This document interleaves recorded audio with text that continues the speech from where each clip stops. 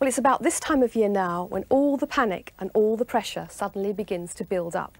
And one of the worst places to be, I find, is in the high street because everybody's rushing and tearing to get all their Christmas shopping done and tempers get frayed and queues get longer. So what I do year after year now increasingly is actually do a lot of my shopping by post and use the mail order services. It's amazing how many people all over the country are sending out food parcels, wine, all kinds of things through fast delivery and express postal services. Now the first on my list is always choosing some really lovely chocolates.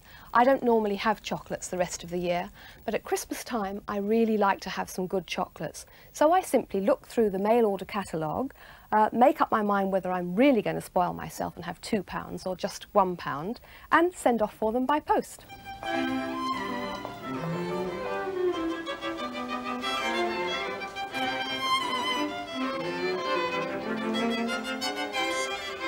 I always used to stand in a long queue at Christmas time at this chocolate shop in London's Old Bond Street, which has the Royal Warrant. I love the dark, sophisticated flavour of their chocolates. And what you can do at home is just choose the kind of chocolates you want. You can have all the same or you can have a variety. And if you want to buy chocolates for your friends, they make really special presents. If you choose lovely boxes and in the catalogue you can even choose the colour ribbon you want to have on the box of chocolates and all this will just arrive by post. As well as fine chocolates, there are lots of other special luxury foods you can buy at Christmas time by post. And one of the things I always like to have is some really fine Scottish smoked salmon. It can be posted off direct from the Highlands. You can have wild salmon and it has that lovely sort of peaty, salty flavour that smoked salmon used to have long ago. One of the presents I received last Christmas was half a pound of freshly roasted coffee and half a pound of specialist tea wrapped up in a little brown paper parcel and tied with string. But it didn't come just once, it was delivered by post every fortnight throughout the year. And if it's not giving any secrets away, I'm going to give one or two of my friends that this Christmas. Well, as well as food for food lovers, if you've got friends who like to cook, it's quite nice to browse through one of the kitchen catalogues that come from some of the mail order shops up and down the country that sell kitchen equipment. There's a whole range of items here to choose from and a whole range of prices too. You can buy little things for stocking fillers or more expensive items, but anything somebody who loves to cook would want to have at Christmas. Now we move on to presents for cooks, to books for cooks. And people are always saying to me, which cookery books do you recommend?